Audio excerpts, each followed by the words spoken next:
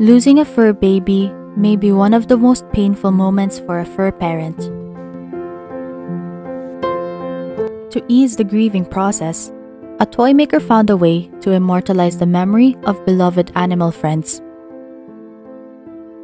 My name is David Tan, and I'm the founder and CEO of Bunga Teddy, based here in Pampanga, Philippines. In 2019, David himself experienced the grief of losing a pet. When his dog Fusion passed away, the idea of creating plush animal clones actually came when my dog, it's I, I used to have a golden retriever, passed away, and after it passed away, um, I had this thought of, you know, how can I have a remembrance of my pet? You know, I only had pictures. Since I own a uh, plush toy factory, why don't I try making an actual, real, uh, realistic uh, replica of my dog? Aside from his pet, one of David's motivations in being a toy maker is his newborn. Plush toys is something that I've always um, had an interest in, and I have a new baby boy, and that also is an inspiration for me, you know, because I want to make some toys for him. David's lifelike plush clones are made from various materials. He uses different types of synthetic furs, fabrics, and other accessories to make the replicas come to life.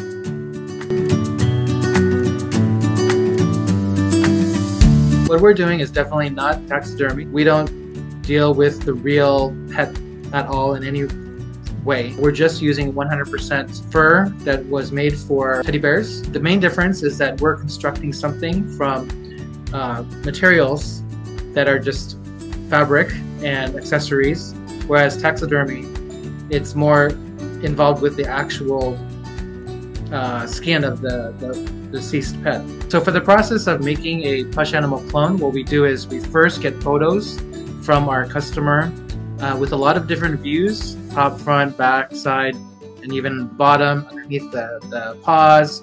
So once our pattern maker sees all those details, he's able to make a uh, paper pattern.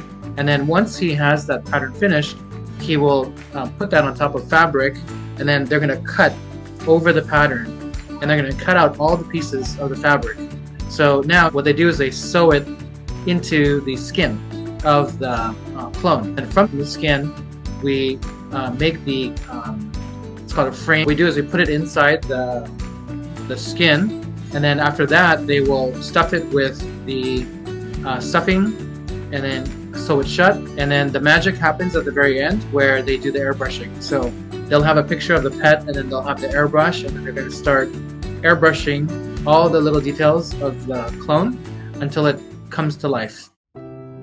For David, the solace that these plushies bring to pet owners is what pushes him to continue to improve his craft. There was actually a video I watched where it brought tears to my eyes. It's the dog whisperer in the Philippines. And he made this entire episode about one of his dogs that passed away. And the most touching moment of his vlog was that he brought this, you know, his dog passed away and he brought the clone to his other dogs. And immediately the other dogs started sniffing under his ear and licking under his ear.